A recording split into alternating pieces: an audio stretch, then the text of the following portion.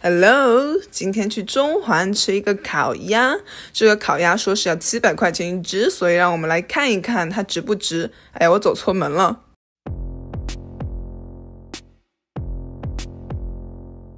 这店瞅着不行啊，但好像是我又走错门了，直接走到餐厅后厨了。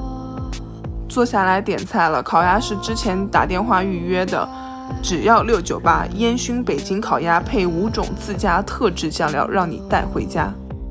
另外单点了一份四百元的五式套餐，这是第一道菜。我现在吃的是烟火鸭春卷，春卷有点硬，里面的鸭肉就一丢丢，味道有点咸。第二道是麻辣麻辣麻辣牛腱，味道不够麻也不够辣，酒的味道会比较重。最后一个是芝士蟹肉饺，看起来黄黄绿绿的，非常好看。顶端还有铺一层 cheese，结果这个入口就是灾难，直接给它吐出来，皮太厚了。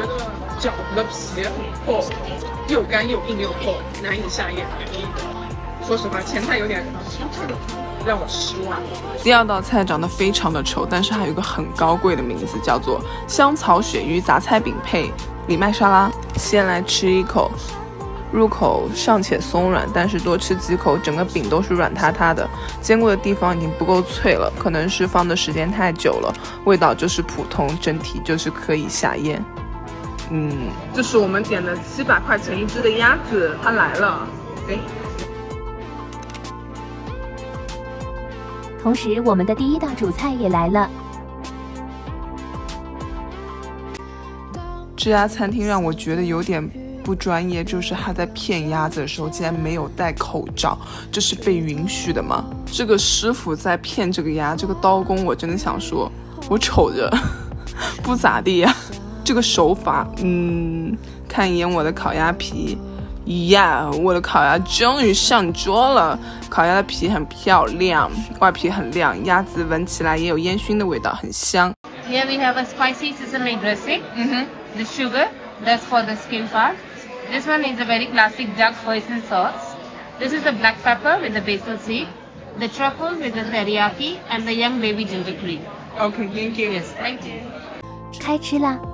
蘸个白糖。 这个皮真的很脆，腌料的味道也很明显，不会不入味。尤其是蘸完白糖之后，就哇哦，油脂和糖分完全化在嘴里，超级爽。再蘸一块。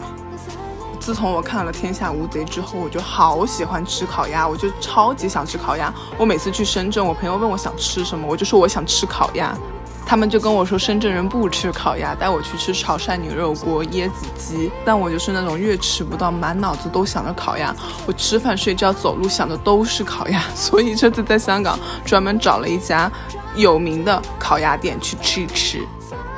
这一块我蘸的是黑松露照烧酱，比起传统的甜面酱，这个酱汁会偏咸一点，但是松露的味道非常浓郁，酱汁里还会有松露的小颗粒。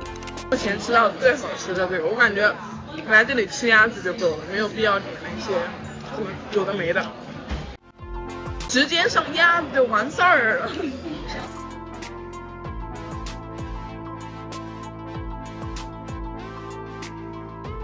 来一片酱料混合版的七十七看，这一口我蘸的是山药泥的酱。嗯，我就觉得那个酱太淡了，有点像酸奶，不太适合裹在鸭子里面吃。这是辣芝麻酱，spicy sesame 做的。我就喜欢蘸很多很多酱一起吃，就超爽，一口爆酱。再加一块肉吧。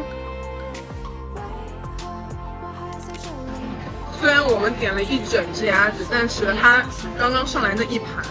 有三分之一都是皮，剩下的肉其实没有皮。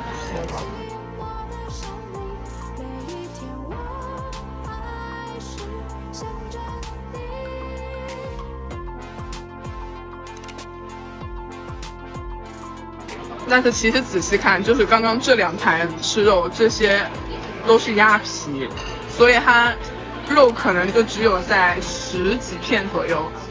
忘记吃我的主菜了，这道叫龙虾汁大虾球。这道菜一般看着图片就能想象出什么味道，虾仁算是爽口。菜名里写了龙虾汁，但是吃起来就像是普通的番茄汁。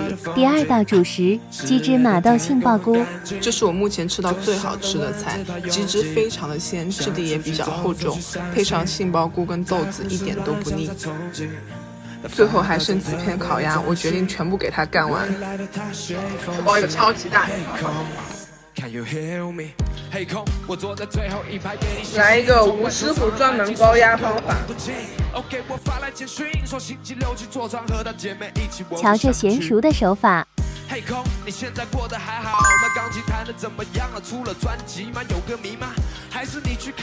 今天的烤鸭，唯一我不百分满意的就是肉质，我觉得不够松软，肉质不算老也不算韧，但都在接受的范围内。能在香港吃到这么好吃的烤鸭，也没有什么好挑剔的了。最后一道菜的名字也非常的浮夸，它叫和牛麻婆豆腐配黄金饭。麻婆豆腐，然后这个是米饭，看这是我的手掌。